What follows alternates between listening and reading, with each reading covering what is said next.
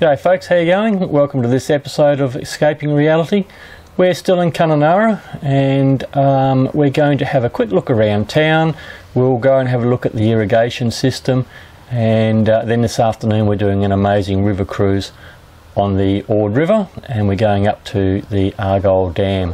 So uh, stay tuned for that one.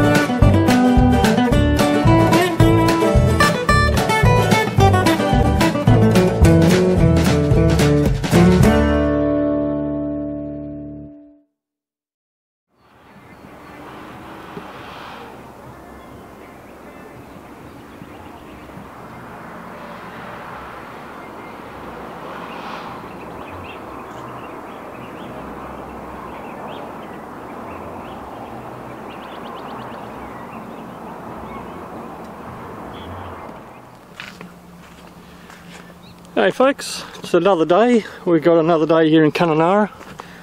We're uh, going to do a uh, river cruise on the Ord River later on this afternoon. So just before they come and pick us up, thought we'd do a quick trip out here to um, Kelly's Knob, which will get a bit of a view over the top of uh, and the surrounding area. It's quite a good view actually.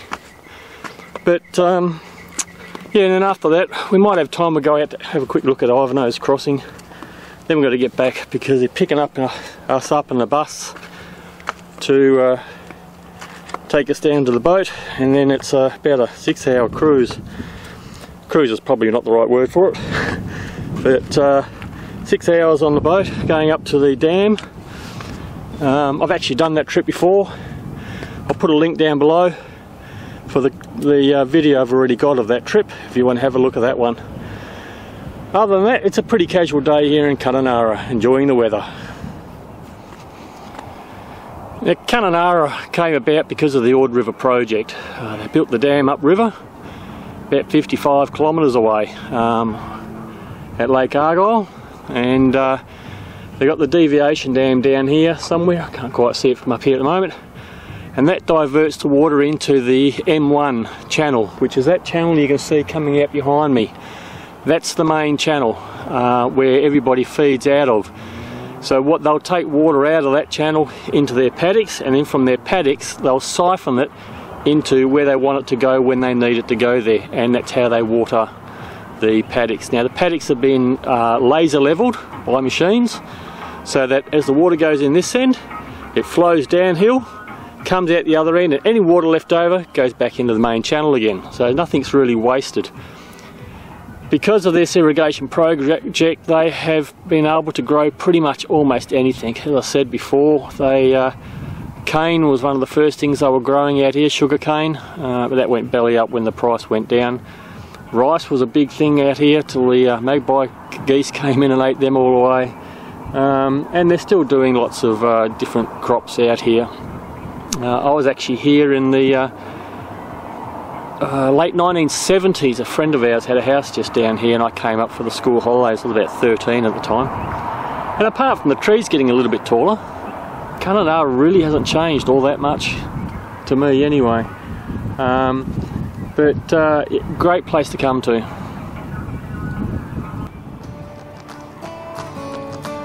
The first stage of the irrigation system spreads just behind town over the Ivanhoe Plain.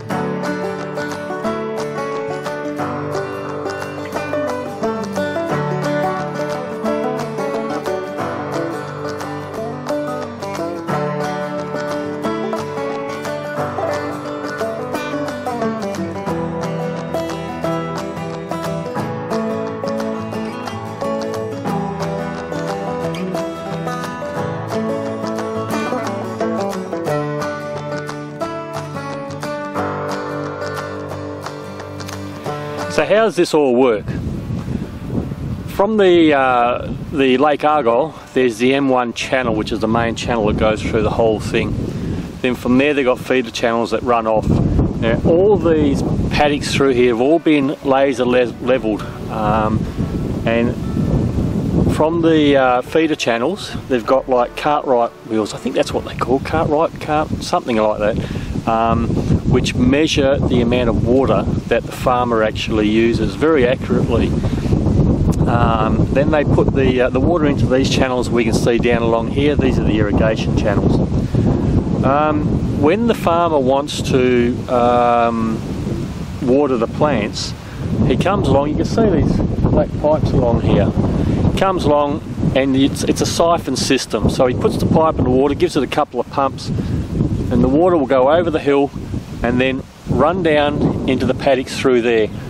Go all the way through to the other end, it's all downhill, when it gets to the other end, there's another channel which collects the water and then that feeds it back into the M1 channel again. And from there, eventually, it all ends up back into the Ord River and heads down to Wyndham. So they reuse the water where they can. So if it's not used here to feed the water, it travels along through. Pretty good system and it's been working well since they started.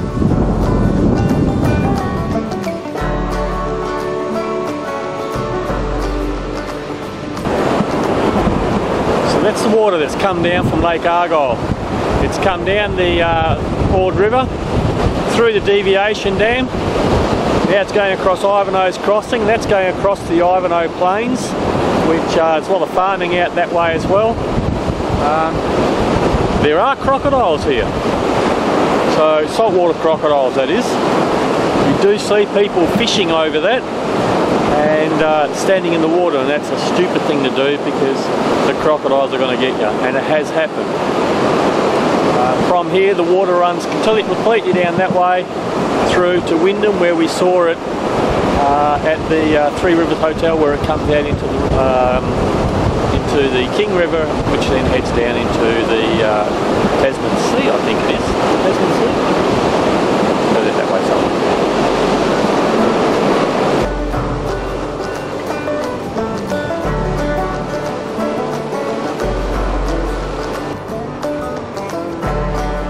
Four-wheel drives can drive across the causeway, but you do so at your own risk. That water is moving pretty quick and can push you off the road if it gets a hold. And it has happened. Just be sure of the conditions and your ability before you go.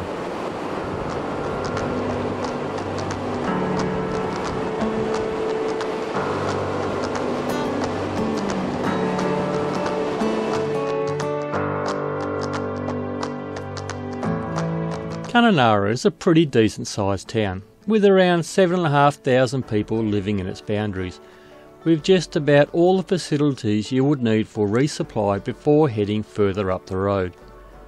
There are a number of caravan parks in town, although at certain times of the year mosquitoes can be a problem for the parks on the river, and the grapevine says bats can also be an issue in some areas.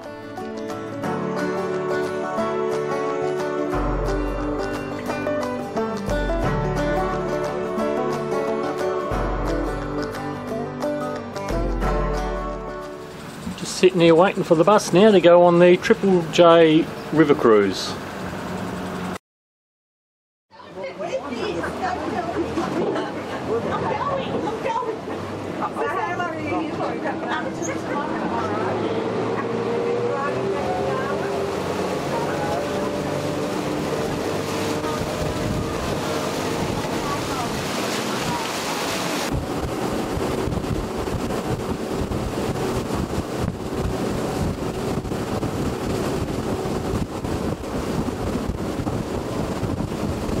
Triple J River Cruise is anything but a cruise.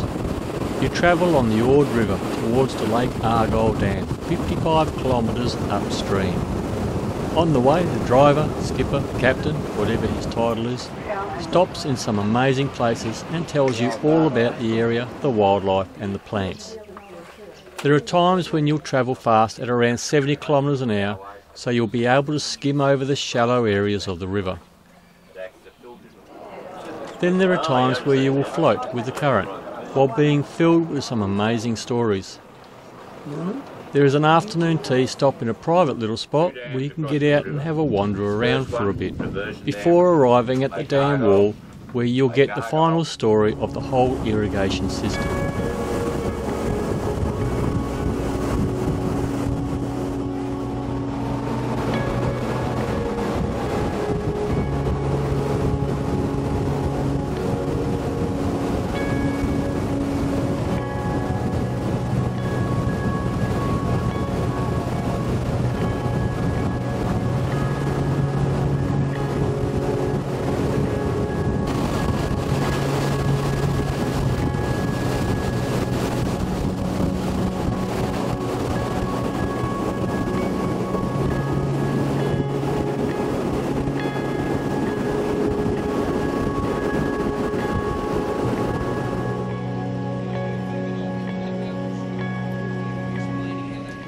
From then, it's a fast run back to Lake Kununurra to be back in time to watch the sun setting over the diversion dam.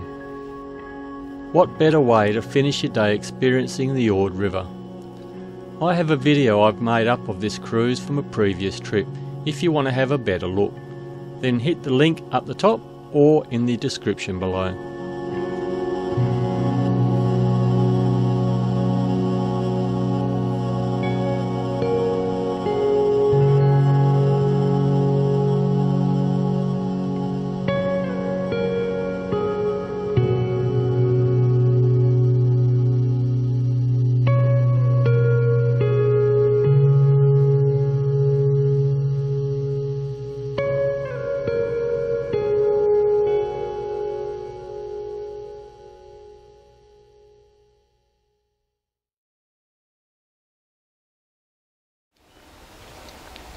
You know, we've been in Kununurra here for a couple of days and we've seen and done some amazing stuff.